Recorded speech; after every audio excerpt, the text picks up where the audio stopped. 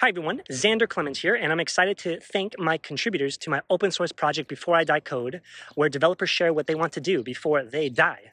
The contributors from the first week of this project being live are as follows.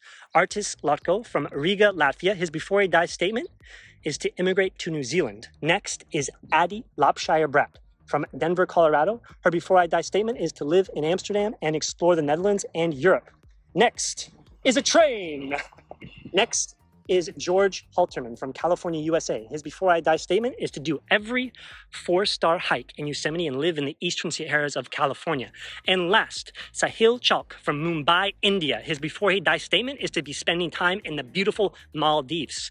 Thank you, Artis Addie, George, and Sahil for contributing this week to the growth of Before I Die code to share and think for ourselves what we are doing in life, helping developers learn to contribute with the Git flow, and also contributing to open source projects as a whole. We'll be adding more open issues to Before I Die Code to continue to involve and improve the user interface, technology stack, and value creation of the project for the developer community. I encourage you to have a look at the Before I Die Code repository in the link in this post, start the repository, and fork the repository to then contribute to the growth of this project. Thank you for your time and have a great rest of your week. Nos vemos.